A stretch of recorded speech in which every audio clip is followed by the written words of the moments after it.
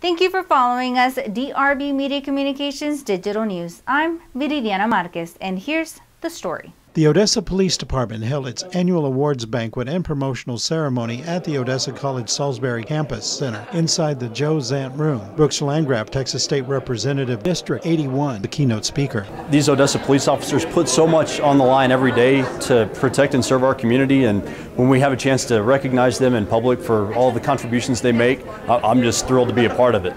State Representative Landgraf said that bulletproof vests are an important component in the protection and safety of the officer.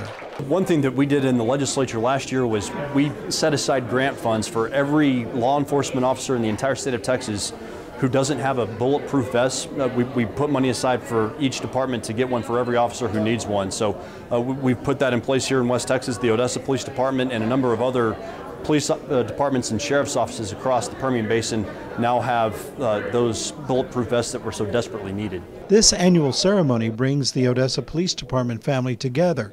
This was a celebration of the promotions of, of several people at the department. Uh, you know, the promotions happen at several different times during the year, but we like to come together as, as a family you know, and celebrate those promotions all together at one point in the year. Brian J. Smith was honored by the Odessa Police Department with the Life Saving Award for his help in assisting OPD officers save four people from a major car crash which caused two vehicles to explode in flames on Yukon Road in June of 2017. Two vehicles are on fire, try to help one.